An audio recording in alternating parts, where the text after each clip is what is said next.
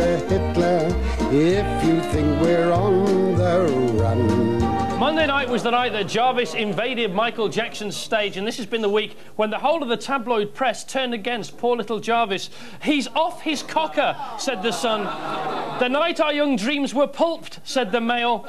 Jacko's pulp friction, said the Daily Express. Uh, that's what the press thought, and here's what Michael Jackson said about the situation. I'm sickened, saddened, shocked, upset, and cheated and angry about the whole situation. Well, uh, what did he do? What was all the fuss about? Well, you didn't see it on the Brits on, when it was broadcast on Tuesday, but then again, they cut most of the best bits out anyway. This is actually what happened. This is really a camera right at the front of the stage. This is what Jarvis did.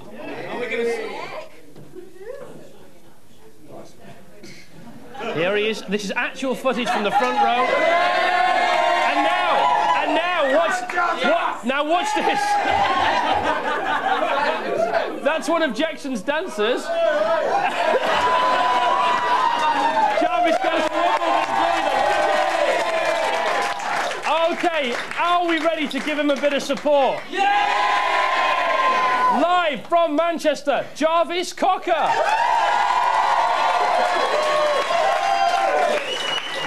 So, Jarvis, good evening. How are you? Not bad. I've got a bit of cold, actually. Oh. So, can you describe, Jarvis, the moments leading up to the Michael Jackson moment? Sorry, can I take you through the moments leading up to it? Yeah. Um, I was just sat there, you know, and watching it and feeling a bit ill because he's there doing his Jesus acts. And um, I could kind of see, I, it seemed to me that there was quite a lot of other people who found it quite distasteful as well. And, uh, and I just thought, you know, stage is there, I'm here. You could actually do something about it and say, this is a load of rubbish if you want. And uh, Candida, our keyboard player, kept saying, oh, you'd never dare do it though, would you? All right, oh well. Just a show, just dub you out. And that's what I did.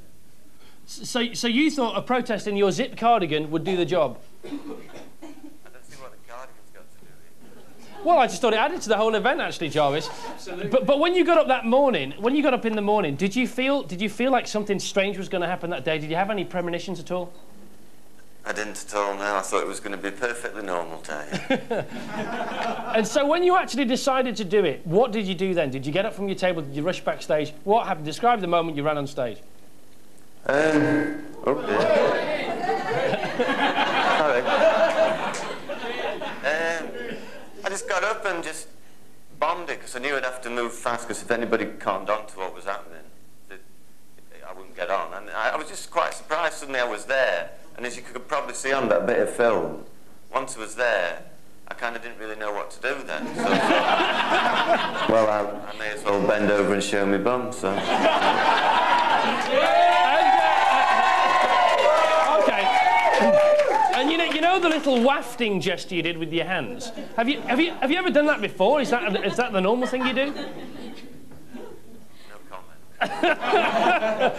And you were, you were then arrested. Is this right? You were arrested in your dressing room. Can you tell us what happened backstage afterwards? Yeah, well, that's the bit of it that's that's the kind of horrible bit for me because then they arrested me and said, "Oh, you know, you ran onto us onto that stage and, and assaulted some kids." I couldn't, I, I couldn't really believe that they were saying that at first. Um, but then, you know, they carted me off to the police station, so uh, it wasn't so much of a joke then. But I was outside your dressing room, and you were actually held in your dressing room for two hours, and they questioned you for two hours. I mean, what were they asking you for two hours? Where'd you get your zip up top?